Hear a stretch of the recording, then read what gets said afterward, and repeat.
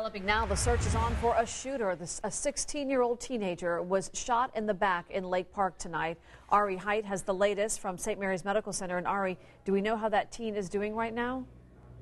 Well, like you said, that teen is only 16 years old. He is here at St. Mary's Medical Center. I'm told he's going to be going to need surgery for that gunshot wound to his back. The good news, though, he's in stable condition. He is conscious. He is alert. But police tell me he is not helping them find who shot him. So take a look. This was the scene just just after 8 o'clock today. This is in Lake Park, the corner of Foresteria Drive and 8th Street. There were sheriff's deputies there on the ground. They were in the air. The canines were out. They were all trying to find the gunman here.